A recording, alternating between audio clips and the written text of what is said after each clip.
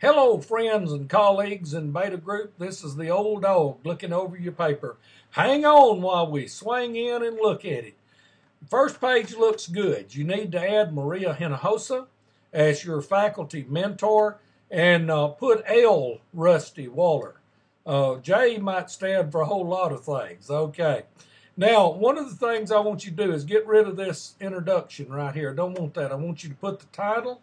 Want you to go straight in your page. That's what's going to be expected of the journal. After a uh, after a comma, you don't have two spaces. You only have one. Now, there's a sentence here that's very cumbersome, and I want you to listen to it. However, could these achievement rates and stresses of accountability be one of the factors that is? Uh, I would say something like uh, be contributing to high attrition rates. All that stuff is superfluous. Uh, check there for space. That's a nitpicky thing. Now we start getting to where the rubber hits the road. It is. Uh, guys, don't turn anything into me that starts a sentence with a, a noun, a pronoun it. That's an ambiguous pronoun. What is? It is. Well, what's it? You, two, you rework that sentence and make it smooth.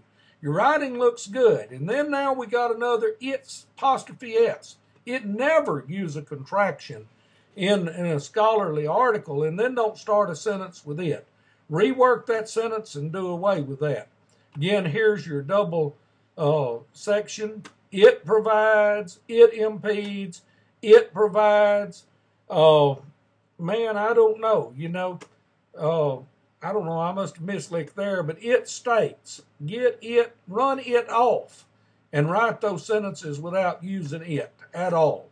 Because I'll go through and search the paper, and if it shows up, I'll burn it.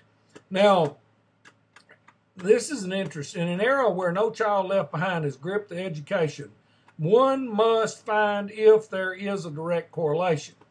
That's very cumbersome um, one, one might suspect a correlation between AIS rankings and teacher longevity, but you're not doing a correlational study. You're doing a comparative study. So you need to rethink this a little bit right here, and you'll see more of that in the next module because I go at length to discuss with you uh, what a comparative study is. You're actually looking at district AI, AEIS ratings and then seeing if teacher longevity differs across those ratings.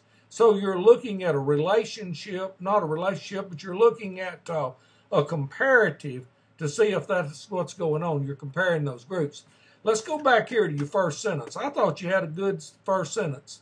Today's schools face a dire situation involving Texas district ratings and teacher longevity. I think you had a good problem there. Very pleased with what you did. Well, I hope you don't feel that it beat you up too much, but it is very excited about what you have written. You've done a good job, and it thinks that you uh, need to just keep plugging. Uh, we love it. Get rid of it. Get rid of its. Uh, you know, watch this two spaces. It should be one after comma. But overall, you did a pretty good job. Very, very pleased with it. Hope you can rest tonight, make those changes, and get it back to me. Well done, Beta Group. Who loves you? The answer to that is the dog. I love you. Have a good night.